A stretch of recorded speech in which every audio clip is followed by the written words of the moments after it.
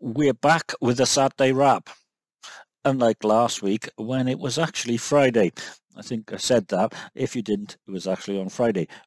Good Friday. Depends on what you call good. Anyway, this is me going back over the last week. Um, politics, news, tech, beers, more beers, and just general stuff, including main crop potatoes. Anyway, before we start, a favorite brewery, Brewing by Numbers. This is number 42, double dry hopped pale ale, 5.5%, soft, hazy, fruity mango, pineapple, um, a fruity peppery finish. Lovely lacings on the glass. Let's see if I got a glass here. Yeah, Brewfest glass. I wish Brewfest would come back actually. It was eclectic. Anyway, um, B++ plus for those of you who are ranking your beers. Um, I've had it before, got it in Sainsbury's in Pontypridd. Big stores. Rotate your beer choices, please because of craft. And craft is all about new beers and such like. Anyway i'm already off the subject down a rat hole. So let's start with the obvious ones for this week. Word or phrase of the week? And probably i've said this one before but it's all i hear. Partygate. Here's my non-political view. If you bring in a law that law applies to you and it is your duty to show you're abiding by that law. If you don't, you got to go. So, in England, in Wales, in Scotland, and I think in Northern Ireland as well, they all have to go because the laws apply to them and they are there to set the example. And hanging on Oh, and saying they forgot and they put it right and they weren't sure and uh, four different countries, four senior politicians, all doing the same thing and hanging on. And even some of our news, they broke the law. Um, the police completely different opinions on who gets fined and who doesn't get fined. And I think in Wales someone got fined two thousand pounds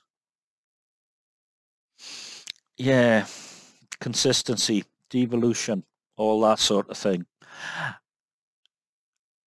Anyway, next thing, app of the week. So, yeah, um, there are apps that you hear about and you're not really sure about, and then someone comes up with a pro deal. Um, that app, well, it's a, it's a Mac app, it's a, an iOS app, it's an iPad OS app, and uh, it even has a web component. It's a thing called drafts. Very simple idea. Anything that you're thinking about, jot it down and then it'll feed into any other app that you need. Um, you can tag stuff, you can search stuff, there are connectors, there are workspaces. Drafts, I've gotta be honest, I'm really liking it. And the ability to just capture something off a web browser, excellent. Uh, I think I did for four 49 for a year. Um, there is a free component, which is quite a lot of the stuff anyway, um, so there's no harm in trying it out. If you've got an iPhone, if you've got an iPad, you've got a Mac, just have a try. If you go a Pro, um, it works across all those platforms. It's a pity there's not a Linux and Windows component there, but it's really from Mac app producers. But Drafts, been around for a while, solid product. I like it a lot. I've only had it a week and it's like part of my workflow. Anyway, okay. And the thing of the week, I suppose I was going to say bank holidays, but it's not bank holidays, it's short weeks. So uh, the week really starts on the Tuesday. So it's back to work on Tuesday and all the days seem a day out. I think I tweeted on Tuesday that it was Monday Club in the Tumble which it wasn't. Thank you, Mr. Landegg, for pointing that out. But it's routine. And sometimes, even though it's a short week, it seems like a long week because you're catching up and... Uh, however, Week after next, another bank holiday, um, which I will be coming back from. Is the week after next? Yeah, it is the week after next. Coming back from Hereford because be knowing. I can't wait actually. It'll be the first time I've been to the Hereford Beer House since last November and also the first time since it changed hands. And I need a Beano. I really do. And the tech and the beer and the everything. So, okay, on to what happened since last week. Last Friday, I left you in the Tumble Inn, drinking coffee, drinking non-alcoholic drinks, drinking low-alcohol drinks, 0.5%. Okay, so the engine management system. I came back at three o'clock. The car was moved. He was pointing in the let's get out of here direction. I had a check with him. There were two errors. Both of them came up as unknown. Now, I, know, I think I know what the first one was. Uh, that was when the battery went flat. Maybe the second one, when the battery was swapped. Um, so they reset it, 35 quid the lighter. Engine management lights. They're a bit of a rip-off. You get an oil warning light, you need oil. You get a pressure warning light on the tyres. You need to look at your tyres and blow them up. You get an engine management warning light. Could be nothing, but you're going to have to pay a lot of money to find out. Why don't they put that information on the, well, there's a panel for the radio and whatever. It could be scrolling across the screen saying, this is your error. Or maybe it's an error code and you can look it up, and but no. Are they on the side of the driver? I doubt it very much. Also announced this week, Apple M2 processors in testing. The word is there will be a MacBook Air. They've also been talking about a MacBook Air that'll be a 15-inch display. I think that's a bit big for me. A 13 or a 13.3 inch MacBook Air with an M2 half a gig of storage, 16 gigabytes of memory, gigabytes? Yeah, gigabytes. Uh, sorry, half a terabyte of storage, uh, 16 gigabytes of memory. That will be my thing. I'm looking forward to it. I'm looking forward to WWDC as well, because they'll tell you.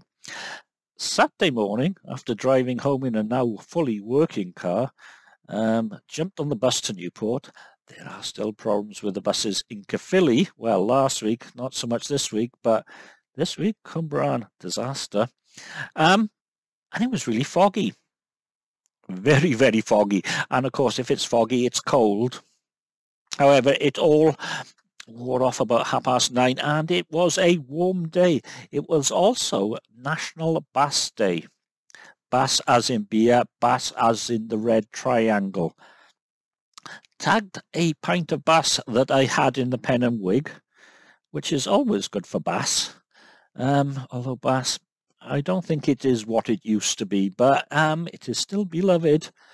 And I don't know what happened, but whereas I normally get 100, maybe if I'm lucky, 150, 200 people viewing a tweet, my beer tweets went up to 4,000. 4,000. I'm thinking bots. Anyway, um, just shy of 30,000 for the whole day. I'm lucky if I get over a thousand normally. Yeah, tech and beer and bass, old school and new school. Hmm. Okay, while I was there, I was having problems with UpNote, which is what I use for the notes for this thing, and a program called SnipDo, which is the equivalent of PopClip on the Mac, or if you have an iPhone and you hold down on a word, you get a little pop-up thing with copy and paste and all that sort of business in it anyway. So I didn't know which one was causing the problems. And the problem was you highlight a word um, on Windows uh, in UpNote, and up comes SnipDo, and the thing just, well, UpNote just disappears. So I pinged both developers, TLDR, long story short, um, by Monday, um, SnipDo had come back to me and said, ah, we found the problem. It's a big one. It's in UpNote. Pinged that over to UpNote. UpNote on Monday pinged back was it Tuesday? Can't remember. Pinged back a thing saying, yeah, we're aware of it. It was in the Windows App Store. They fixed it. They followed up with me. Um, is it working? It is. You can't get away from the fact that you will have problems with software. Um, but it's people who put it and fix it correctly and quickly the good people. And it was. So I was happy with that, to be perfectly honest. Um, uh, Sunday, there was supposed to be a burst water main. I had an email from Welsh Water, Dŵr Cymru, saying, um, you might have dirty coloured water. You might have reduction in prem, uh, pressure. Did, um, didn't seem to have any of that. And then two hours later, we've sorted it all out. I'd rather have one of those and not be the case than not have one of those and have no water because like, you know, Sunday lunchtime, obviously we need this sort of thing. Hmm. Sunday afternoon, I'd ordered some kitchen knives from Amazon. Yeah, um, you have to have a passport or something with your picture on and your date of birth. Anyway, the driver was great. Didn't really want to see the passport, uh, although I held it up. Just wanted my date of birth. Um, I'm a bald old coot, as you can tell. I am over 18. Sometimes the laws in this country, sometimes. Also, I ordered some other stuff, um, and this has happened before. You get a message saying it's running late. And then you get another message saying it'll be with you within two days, but if it doesn't arrive, you can get a refund. It never comes.